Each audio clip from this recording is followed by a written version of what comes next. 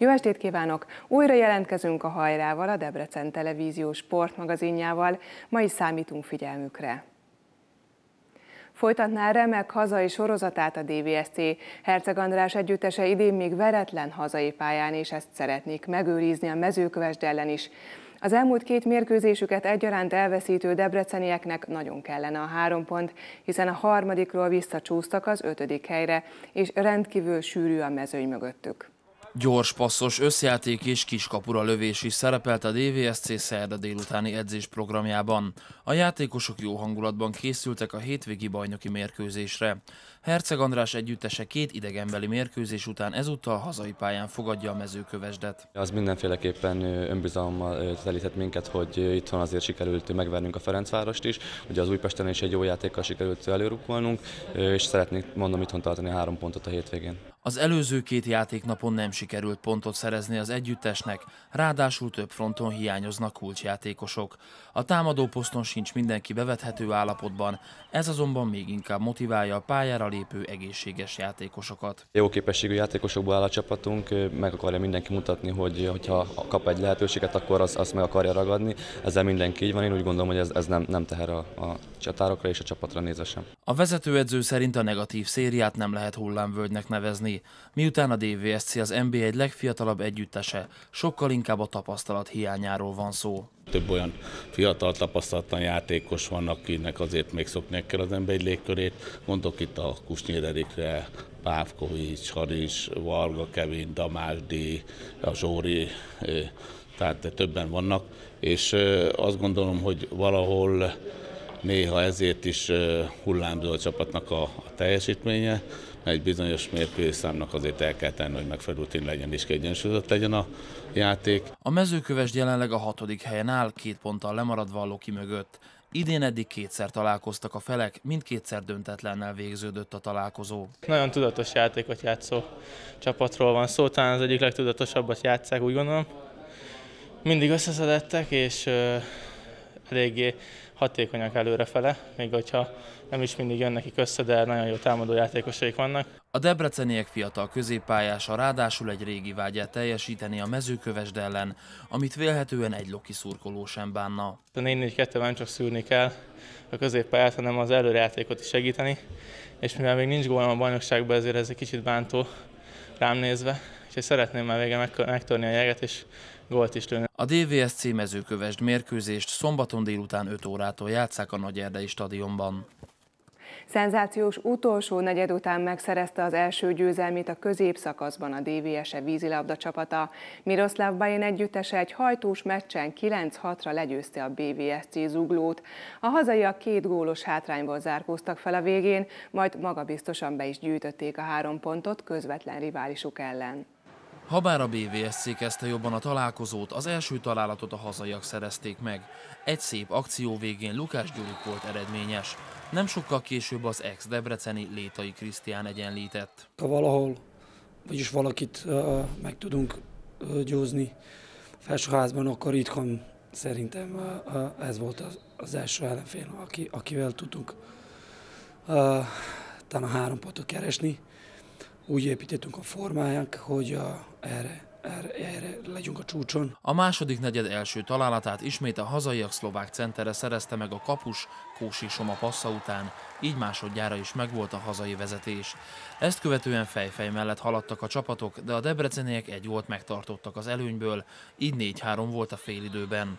A harmadik negyed viszont akár csak az elmúlt mérkőzéseken, ezúttal is nagyon rosszul sikerült a hazaiak szempontjából. Nagyon furcsa volt, mert a harmadik negyedet elvesztettük 3 0 és, és ha, két határozatos lefordulás gólt kaptunk, ami azért nagyon demoralizáló. Az utolsó 8 perc előtt 6-4-re vezettek az uglóiak, a DVS azonban elképesztő játékkal rukkolt elő a záró negyedre. Zsinorban 5 gólt lőttek, állva hagyva a döbbent vendégegyüttest. A kegyelemdöfést a hazai nevelésű Fekete Gergő vitte be, aki 7-6-os állásnál kétszer is betalált. Meglepően nagyon örültem neki. Hát úgy éreztem, hogy, hogy a csapat, csapatmunka és a morállal, hogy mindenki akarta a másikért, és egymásért küzdöttünk, és ezért is tudtam most valahogy még jobban örülni ennek a gólnak, mert úgy éreztem, hogy, hogy ezt megérdemelnénk ezt a három pontot. A fantasztikus hajrának köszönhetően a DVS-e megszerezte első győzelmét a középszakaszban a legjobb nyolc között. Nem megyünk sehova, amit már mondtam, nem megyünk sehova, nem megyünk fehér zászló, mi mindenhova megyünk a, a, a, a három pontért. Nyilván az nehéz lesz, de uh, számít ez a három pont pont BVS ellen, mert utána, amikor rájátszás lesz, akkor, akkor számít, nagyon számít, hogy hány ponttal egymás ellen uh, szereztünk.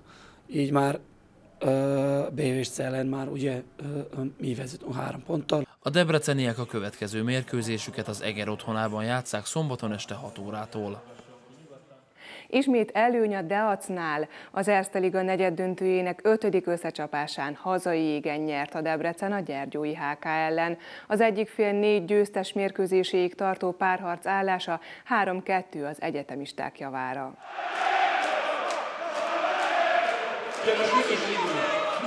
A vendég gyergyói szurkolók igyekeztek hazai hangulatot teremteni Debrecenben is. Ez azonban nem zavarta meg a fekete-mezes házigazdákat. Az előző meccsen elszenvedett 7 0 vereség nem hagyott komoly nyomot a hazai hokisokban. Emberelőnyből német, majd pár perccel később túlkot talált az erdélyi együttes kapujába. A második harmad elején német duplázott, aki rég nem talált az ellenfelek kapujába. Nagyon vertem, mert helyzetek eddig is megvoltak, nem jöttek igazából, előre néztem csak, és próbáltam pozitív maradni. Remélem, hogy mindentől kezdve valami gát elszakadt, és jönni fognak a gólok. A harmadik debreceni találat meglepetése a vendégeket dobta fel jobban. A Gyergyó ember hátrányból szépített, sőt, Csergő góljával egy góra olvadt a hazaiak előnye. Igazából ilyen a jégkorong, tehát hullámzik a játék, kaptunk gyorsan két gólt, de szerencsére ugye fejbe összeszedtük magunkat, és onnantól kezdve kiki meccs volt. Büszke vagyok a csapatra, mert jól küzdöttünk, Zoli is hátul tartott minket. A záró harmadban nagy erőket mozgósítottak a vendégek az egyenlítését, de nem ők, hanem a házigazdák örülhettek újra. Novotni gólja után kockáztattak a fehérmezesek, lehozták a kapusukat, de ebből a másik cseh, Izácki volt eredményes. A Deac végül 5-2-re nyerte a találkozót, és összesítésben 3-2-re vezet az egyik fél négy győztes mérkőzéséig tartó párharcában. A vereség után fontos volt számunkra, hogy ugyanúgy menjünk bele ebbe a meccsbe, mintha mi sem történt volna. A playoffban mindegy mennyivel kapsz ki, az is csak egy vereségnek számít. Mindkét együttes alaposan kitett magáért, jól játszott. A hangulat is remek volt, mert rengetegen kilátogattak és buzdították kedvenceiket. Értékelt a debreceni szakvezető. A párharc következő összecsapásán idegenben két és fél ezren drukkolnak majd a gyergyóiaknak. Nehéz, de nem lehetetlen feladat lesz legyőzni az egyetemistáknak ellenfelüket. Biztos, hogy nagyon jó hangulat lesz, nem egyszerű ott játszani, a körülmények se nekünk kedveznek, de hát meglátjuk igazából, nem merek jósolni semmit, mindent meg fogunk tenni, azért, hogy hat meccsből ezt lezárjuk, de a lényeg az, hogy a pályelőnyt azt tudtuk tartani. What do we need for that? Szükségünk van a szívünkre, egy kis szerencsére, egy kis tökösségre, és persze pár górra, hogy megnyerjük a meccset, mondta David Musial. A hatodik meccs pénteken este lesz Gyergyó Szent Miklóson. Története talán legszebbő egy hónapján van túl a Deac kosárlabda csapata. Az együttes bronzérmes lett a Magyar Kupában, hazai pályán pedig megverték a bajnoki címvédő listavezető szolnok együttesét. A sikerekből oroszlán részt vállalt a szezon elején leigazolt Henry Dugát, aki a legeredményesebb debreceni volt a kupában, a szolnok ellen pedig tripla-duplát ért el. A nem mindennapi teljesítménynek köszönhetően választották őt a hónap játékosának a Média Centrum Debrecen sportriporterei.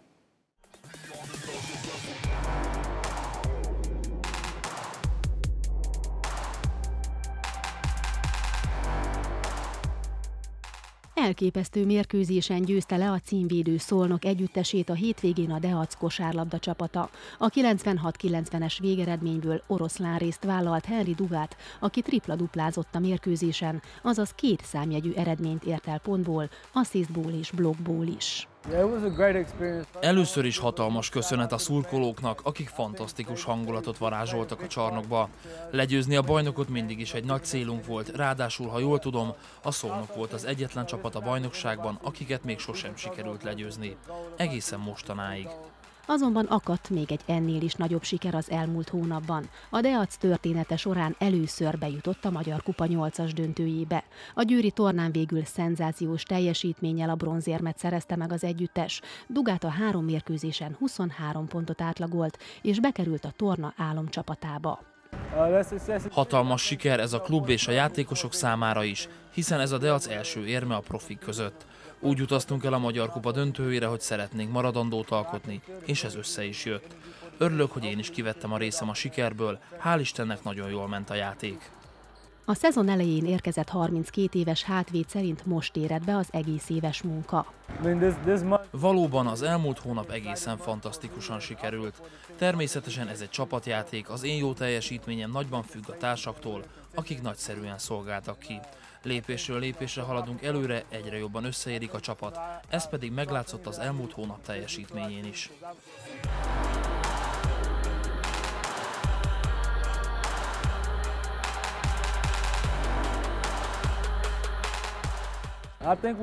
Szerintem egy nagyon kiegyensúlyozott együttes a miénk. A hazai és a külföldi, a fiatal és az idősebb játékosok remekül megértik egymást a pályán, és szerencsére azon kívül is.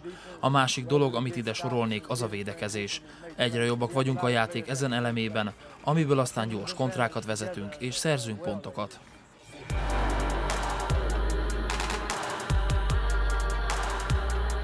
És mit csinál akkor a rutinos amerikai, amikor épp nem a pályán kergeti őrületbe az ellenfelet? Egy elég kényelmes ember vagyok a magánéletben. Nagyon szeretek tévézni, néha körülnézek a nagyobb bevásárlóközpontokban. Sétálgatok a főtéren, és ha már ott járok, beülök a kedvenc éttermembe. Nagyjából ezek, amik kikapcsolnak.